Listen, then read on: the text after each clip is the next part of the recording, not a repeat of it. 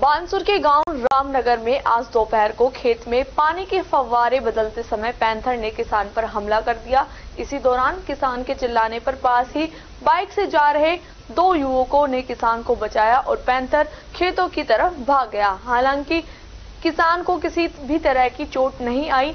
समय रहते बचाव कर लिया गया। घटना रविवार दोपहर की रामनगर गाँव की है, जहाँ किसान ताराचंद यादव अपने खेतों में फव्वारे की लाइन बदल रहा था। उन्होंने बताया कि वो फव्वारे बदलने के लिए पाइप लेकर जा रहे थे। इसी दौरान भगेरे ने उन पर हमला कर दिया। गनीमत रही कि बघेरा पाइपों पर गिरा।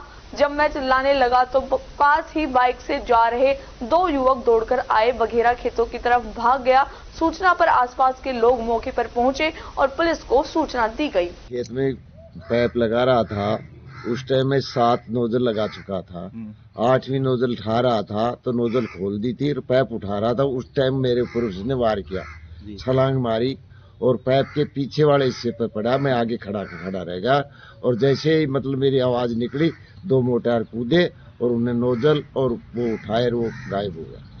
तो आपको मतलब- पक्का पता है हाँ निश्चित वगैरह था। उनको भी पता है कम से कम दस पंद्रह बीस कदम तक वो आदमी पीछे भागे। है तो आपके ऊपर कहीं वो नहीं मेरे तो कोई चोट फेट नहीं हुई। क्यों? पैप था मेरे पास में। हाँ।